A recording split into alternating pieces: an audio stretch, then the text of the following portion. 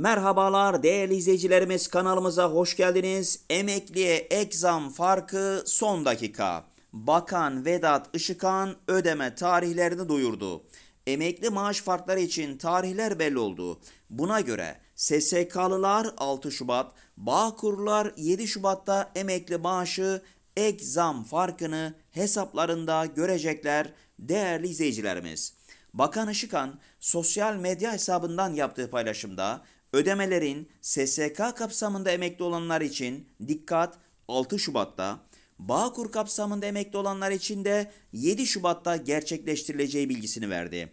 Kıymetli emeklilerimiz için hayırlı olmasını diliyorum ifadelerini kullandı değerli izleyicilerimiz.